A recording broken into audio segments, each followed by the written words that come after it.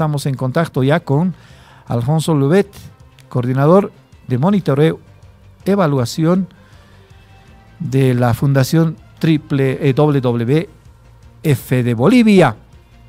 Vamos a hablar de un tema que siempre es preocupación en el país, siempre es preocupación en el mundo.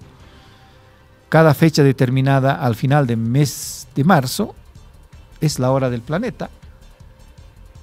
Hace años ya, por un tiempo determinado, cortamos la energía eléctrica en nuestras viviendas para reducir para reducir el uso de energía eléctrica y favorecer al cambio climático. Alfonso, buen día. Le saluda Rubén Atawichi desde La Razón Radio. ¿Cómo está? Buen día. Buenos días, Rubén. Muchas gracias por este espacio. Es un gusto poder estar con ustedes. Esta tradición ya se ha vuelto así, de apagar las luces, desconectar los equipos, cuánto le está aportando al medio ambiente en el mundo y desde cuándo estamos los bolivianos y los habitantes del mundo siendo conscientes con nuestro planeta a través de esta actividad. Es, una muy buena pregunta porque una cosa es eh, desde cuando realizamos esa actividad, hace varios años que ya WWF Bolivia está liderando el desarrollo de la hora del planeta aquí en nuestro país, pero es una actividad que se desarrolla a nivel mundial. Eh, son 200 países aproximadamente que todos los años realizan acciones eh, en este evento, en la hora del planeta, eh, con la idea de poder reflexionar, reflexionar cómo es nuestra relación con, con, con la naturaleza, y eh, reflexionar sobre de qué forma podríamos nosotros tener una mejor relación y convivir mejor para que los seres humanos y la naturaleza prosperemos juntos. Es, es eh, una actividad en la que actualmente en Bolivia eh, se han involucrado más de 70 organizaciones, municipios, gobiernos departamentales, ONGs, fundaciones, grupos de jóvenes, sector privado, eh, y eh, se van a liderar aproximadamente alrededor de 100 eventos a, a, nivel nacional. Entonces, como te decía, eh, la idea es poder reflexionar un poco sobre cuáles son las acciones que nosotros debemos desarrollar para poder lograr un futuro mejor en el que el ser humano y la naturaleza prosperen juntos. Y durante la hora del planeta, el apagado de las luces es, es un acto simbólico como para darle un descanso al, al, planeta sobre todos los patrones de consumo que tenemos y que están haciendo que actualmente eh, necesitemos gastar un planeta y medio por año. Ya no nos está alcanzando y muchas veces no lo vemos porque simplemente no hay una equitatividad en la distribución de los recursos a nivel mundial. ¿no? ¿A qué hora es la hora del planeta? Y cuándo se va a desarrollar esta actividad conciencial en Bolivia? Bueno, como había señalado, eh, este año la hora del planeta la vamos a desarrollar el 26 de marzo. Eh, vamos a tener una serie de actividades que se van a llevar a cabo en diferentes eh, lugares del país. vamos a hacer el apagado de luces en Santa Cruz, en el Centro Comercial Las Brisas, en Cochabamba, en la Plazuela Lincoln, en Trinidad, en la Plazuela Fátima, en La Paz, en el espacio de la Recoleta, y además se van a realizar arborizaciones, maratones, caravanas, caminatas, limpiezas. Eh, invitamos a toda la gente a que pueda sumarse al evento virtual que va a iniciar este sábado a las 7.30 uh, de, la, de la noche a través de nuestras plataformas digitales. Y el evento de apagado de luces durante una hora se realizará desde las ocho y media hasta las nueve y media de la noche este día sábado. 30 a 21 a 30 en todo el país. Mañana, por favor, amigo, amiga que nos sigue en la Razón Radio, desconecte todos sus aparatos, baje la palanca de la luz y use mecheros, use, bueno, mechero también gasta energía fósil como es el combustible, pero velas, luces que puedan evitar el consumo de energía en el ámbito mundial. Ahora, ¿cuánto se ha generado de conciencia? En el mundo y en Bolivia respecto de esta iniciativa de la hora del planeta? ¿Hay un reporte, hay un registro, hay un estudio? Eh, em, Alfonso. Sí, eh, evidentemente todos los años que nosotros estamos eh, trabajando en este, en este evento, vamos midiendo el efecto que tenemos y año tras año hay más instituciones que se involucran, hay más gente que participa, sobre todo los jóvenes. y eso es muy, muy importante porque los jóvenes de hoy son los tomadores de decisiones en el mañana y creemos que con este tipo de actividades gradualmente se está incrementando la conciencia eh, sobre la necesidad de cuidar nuestro planeta y los recursos de nuestro planeta. Em, te, puedo dar algunos, algunos datos que pueden ser un poco, un poco chocantes. Eh, actualmente eh, estamos enfrentando una de las crisis, una de las mayores crisis de extinción que, desde que estamos en lo que se llama el antropoceno, desde que el ser humano está, está aquí. Eh, hemos perdido casi la mitad de nuestros bosques de forma planetaria, hemos eh, perdido una gran cantidad de arrecifes de coral, de manglares, dos terceras partes de los humedales del mundo que son vitales para la vida de la gente, los hemos perdido, sin mencionar muchas especies silvestres, la forma en que se pierden y se degradan ecosistemas. Eh, y esto tiene que ver con los patrones de consumo que tenemos, con, formas no sostenibles de utilizar los recursos. Y es por eso que es tan importante que se vaya incrementando esta generación de conciencia y estamos seguros de que gradualmente la gente es cada vez más consciente de que tenemos que ir cambiando ciertas actitudes, tenemos que ir cambiando nuestra relación con los recursos, nuestra relación con los ecosistemas, nuestra relación con el planeta, eh, como te decía, para que podamos prosperar de manera junta. El, ser humano necesita el planeta, necesita los ecosistemas, necesita los recursos para poder sobrevivir.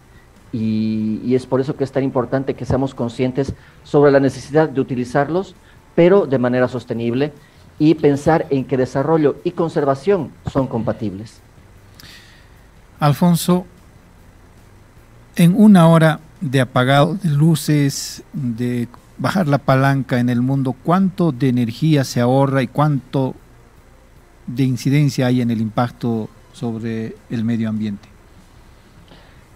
No tengo en este momento un dato que te puedo mencionar sobre la cantidad de energía que se ahorra. Te decía que es un evento más simbólico.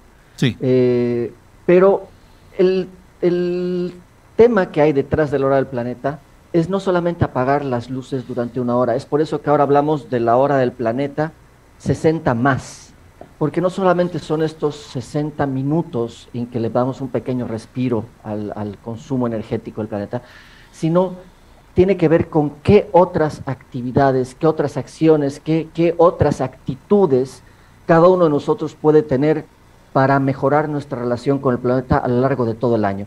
Es decir, este, este, este, acto simbólico eh, da pie a que podamos durante el resto del año realizar muchas otras actividades, todas que tienen que ver con poder eh, cambiar este tipo de relacionamiento que tenemos con el planeta y poder mejorar eh, la forma en que conservamos y utilizamos nuestros recursos, que como te decía, son algo necesario para nuestra sobrevivencia también como especie.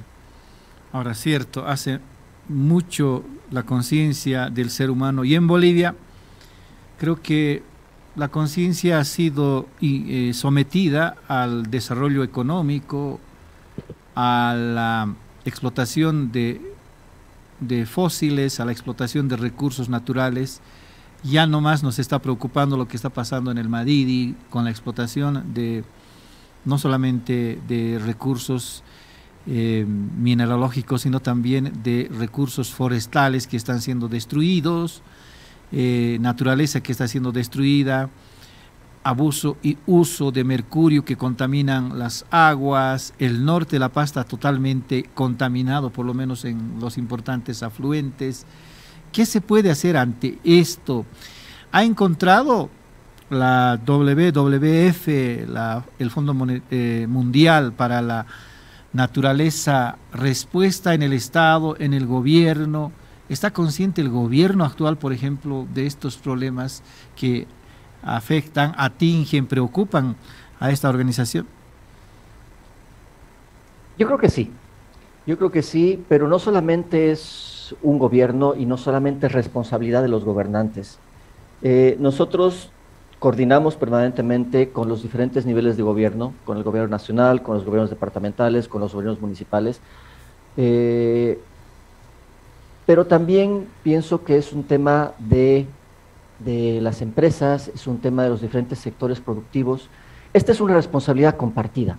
Eh, el, buen uso de los recursos que tenemos a nuestra disposición es una responsabilidad compartida por todos y tiene que ver no solamente con la forma en que nosotros los utilizamos, sino también el desarrollo de políticas, políticas que puedan orientar, puedan insertar criterios de sostenibilidad en el uso de estos recursos. Entonces, por eso es tan importante eh, pensar que este es un problema muy complejo y no hay una solución simple.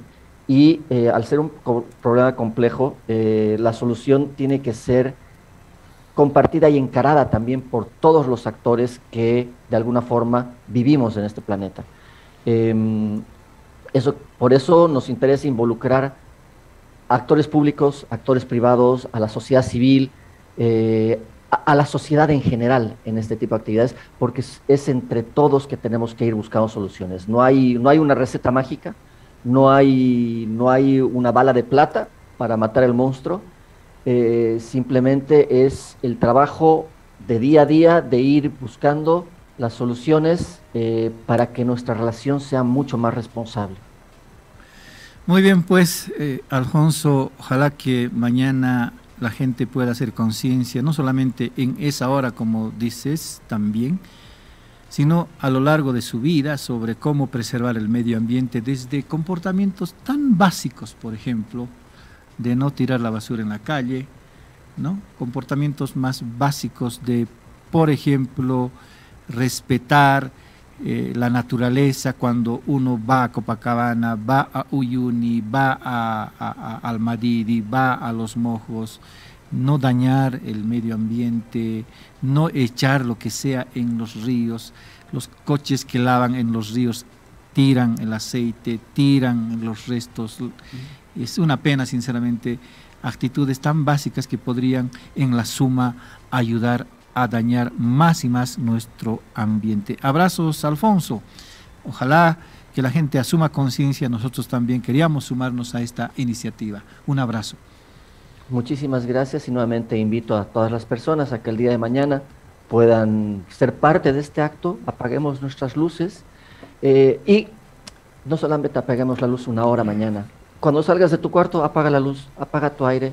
Eh, como tú dices, no tiremos basura en las calles, seamos un poco más responsables con nuestro ambiente, porque al final y al cabo es de donde vivimos y es lo que disfrutamos en el día a día. Claro, gracias. Sí. claro que sí.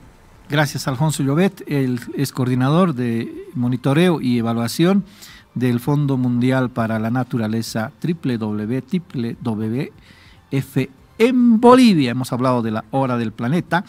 Mañana, la hora del planeta, este acto simbólico de apagado de luces se desarrollará en el país entre las 20.30 y 21.30. Una hora de apagado de luz puede contribuir, puede aportar al medio ambiente, no solamente en el país, sino también en el mundo, pero más allá de ese apagado que es tan físico y, es simbólico, es simbólico, decía Alfonso Lobet.